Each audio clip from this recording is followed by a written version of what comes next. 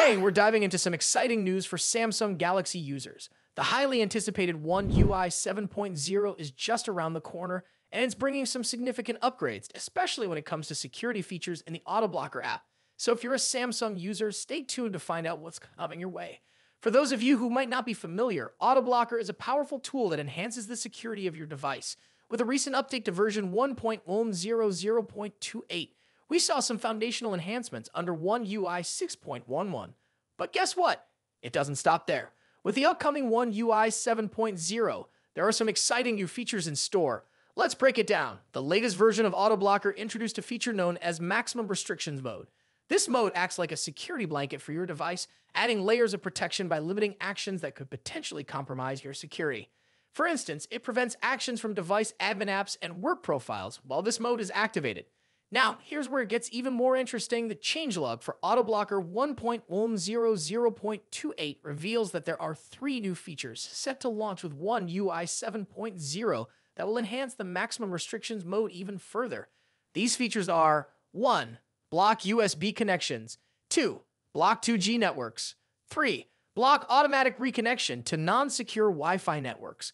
First up, block USB connections. Now, this feature has been around, but it's expected to receive enhancements in the new update. This will give users even more control over what can be connected to their devices, making it harder for malicious software to transfer onto your phone via USB ports. Next, we have the Block 2G Networks feature. Currently, many devices still connect to 2G networks, which are less secure. This functionality in One UI 7.0 allows you to block any 2G connections entirely ensuring that your device is only connecting to more secure networks. A great move towards safeguarding your data. And finally, we've got the block automatic reconnection to non secure Wi Fi networks. This is crucial, especially when you're out and about. With this feature, your phone will not automatically rejoin unsecured Wi Fi connections. This can help prevent your data from being intercepted on public networks, which can be a goldmine for hackers. So it's clear that One UI 7.0 isn't just about aesthetic enhancements. Samsung is really focusing on making security a top priority for its users, and these features are a testament to that commitment. Samsung is expected to start rolling out One UI 7.0 early next year, with beta testing supposedly kicking off this month. If you're as excited as I am, make sure to keep an eye out for those updates and get ready to enhance your device's security. What do you think about these new security features? Are you looking forward to One UI 7.0? Let me know in the comments below. And don't forget to like and subscribe for more tech updates and insights. Until next time, stay tech savvy. See you in the next video. The smartphone industry is constantly evolving, with each new year bringing us flagship devices that push the boundaries of technology and design. In this video, we'll be taking a close look at the two biggest names in the smartphone world right now Apple's iPhone 16 Pro Max and Samsung's Galaxy S24 Ultra. Both phones are powerhouses in their own right, but how do they stack up against each other? Let's dive into the battle of the bigs.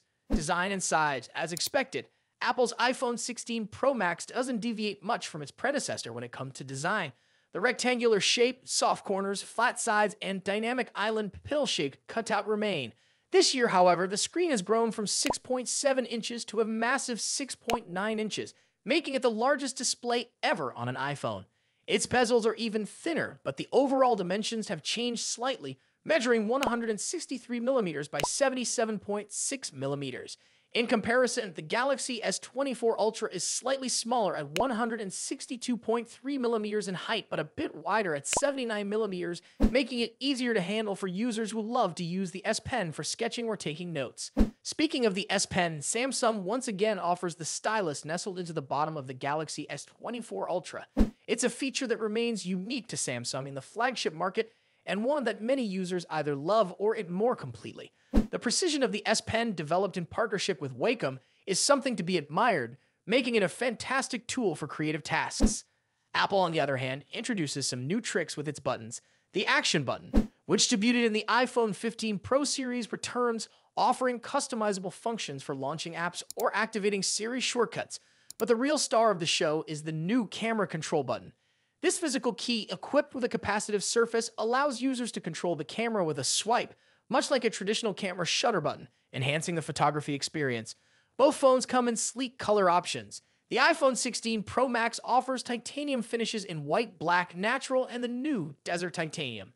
Meanwhile, Samsung gives users a broader selection with titanium violet, yellow, black, and gray, and three exclusive colors if you order directly from Samsung's website. Display differences. When it comes to display, both phones boast impressive technology. The iPhone 16 Pro Max features a 6.9 inch OLED panel with a 120 Hz refresh rate and an always on display that can drop its refresh rate to just 1 Hz, keeping your wallpaper or photos visible even when the phone is asleep. Samsung's Galaxy S24 Ultra comes equipped with its signature AMOLED screen, also featuring a 120 Hz refresh rate and an always on display. However, Samsung has a slight edge here with its anti reflective coating, which makes the screen much easier to see outdoors. In contrast, the iPhone struggles with reflections in bright sunlight despite its high brightness. Color accuracy is another area where the two phones differ slightly. The iPhone's display leans towards a yellowish hue, while the Galaxy has a bit of a teal tint. But with both phones offering blue light filters and adaptive color calibration, these differences are minimal in day to day use. One new feature for the iPhone 16 Pro Max is its ability to drop to an incredibly low 1 nit brightness level, making it easier on the eyes in dark environments. Samsung's display already hovers around this level, so both phones are excellent for nighttime use. Performance and software. Under the hood, the iPhone 16 Pro Max is powered by Apple's latest A18 Pro chip, built on a second gen 3 nanometer process by TSMC. This cutting edge chip brings significant improvements in performance and efficiency, particularly when it comes to handling heavy tasks like gaming and AI driven processes. Apple has also focused on better heat dissipation, addressing the overheating issues that plagued the A17 Pro chip. The Galaxy S24 Ultra, on the other hand, is powered by the Qualcomm Snapdragon 8 Gen 3, specifically tuned for Samsung devices. While both chips are incredibly powerful, benchmarks show that Apple's A18 Pro takes the lead in CPU performance. However, in 3D graphics tests, the Galaxy S24 Ultra isn't far behind, offering stellar gaming performance. Both Apple and Samsung are pushing into the realm of AI, with dedicated NPU cores to handle AI tasks.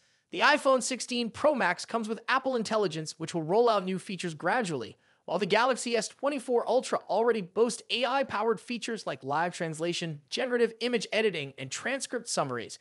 As for software, the iPhone runs iOS, which has seen some welcome changes this year, bringing it closer to the flexibility of Android. You can now place app icons anywhere on the home screen and even customize their colors. But if customization is what you're after, Samsung's One UI still reigns supreme with features like split screen multitasking, themes, and more.